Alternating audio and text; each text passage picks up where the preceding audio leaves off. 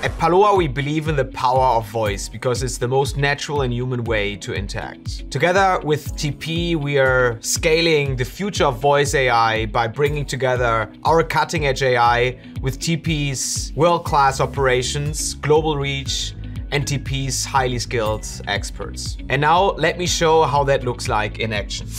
Hello, Malte. I'm Eric, your digital assistant. How can I help you today? Hello, um, I would like to cancel my booking of course. Could you please provide your 10 digit confirmation number? I have it. It's 847 362 9105. Thank you. I see you have a reservation. Before I cancel, may I ask the reason for your cancellation? Um, my wife is sick, so um, we are not going to make it. I'm sorry to hear that. Your booking has been successfully canceled. Would you like to rebook for another date? Actually, that would be pretty nice. Can we do two weeks later? Let me check availability. Great news! A loft suite is available starting June 15th for $250 per night. Would you like me to book it? That would be great.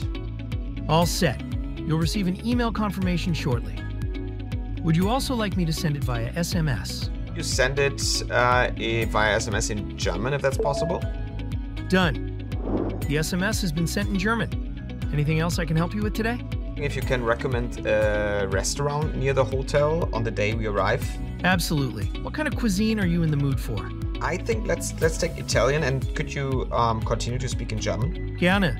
Ich habe ein wunderbares Restaurant gefunden, in dem Sie beim letzten Mal waren. Ähm, möchten Sie, dass ich nach einer Alternative suche? Oder soll ich Sie informieren, sobald dort wieder etwas verfügbar ist? Um, let's continue to speak in English and um, just get back to me as soon as there is something available. Again, thanks a lot. You're welcome. Have a great day. Together with TP, we are reshaping the CX industry, redefining how customer engagement via voice is being defined. More agile, more intelligent, and more future proof. Orchestrated intelligence for what matters most.